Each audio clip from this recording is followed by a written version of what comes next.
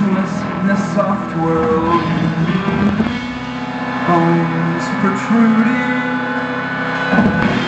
and heart blossoms from the